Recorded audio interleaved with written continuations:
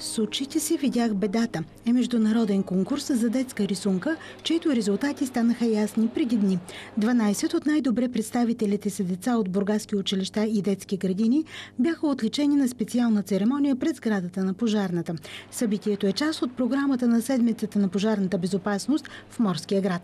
Във възрастова група от 11 до 13 години на първо място са две деца, едното от които Клементина Николова от средно училище Петко Росен. Какво представляваше твоята рисунка? Ами, представляваше наводнение в града и как пожарникарите спасяват всички хора ам, от наводнението. Вкарат, вкарват ги в лодки с едно кученце са спашили също и ги спасяват. Ти виждала ли си такова нещо?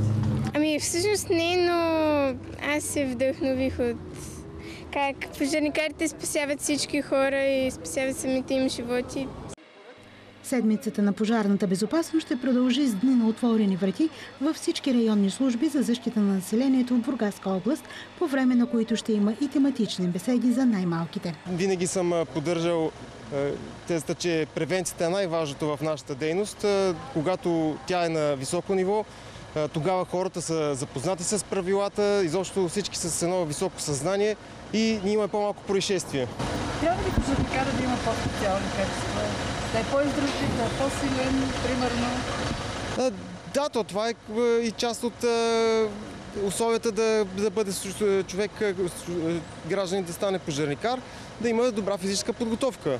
Ежегодно се провеждат такива физически изпити и е необходимо наистина да поддържаме форма, защото има происшествия, които с часове се налага да, да сме в напрежение, с физически труд и наистина тогава човек може да се изчерпа.